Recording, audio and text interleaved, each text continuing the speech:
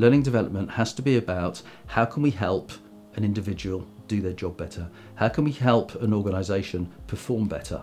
Clear Lessons is a project that I've been working on for, for years, and it was a project that really started as a, as a passion project. What we want to do is create content that is digital, video, scalable, that we can then uh, make available to, to any charity free of charge. That's the whole point.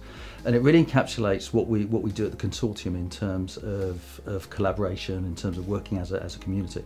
And so we started filming people at conferences, we went into organisations, and the you know, the whole point of the project was to film you know, real people telling their stories, sharing their experience. What we've now decided to do is to create some animated content. Having animated content which is more instructional then supported by, by video content, which is people talking about their own real lived experience within within those areas, will be will be really powerful. This is a really exciting project for me because it's around creating content that's going to make a real difference to the to the sector. If you want to have a look at any of this content, go to watch.clearlessons.com, register, and it's free to anybody working in the charity sector.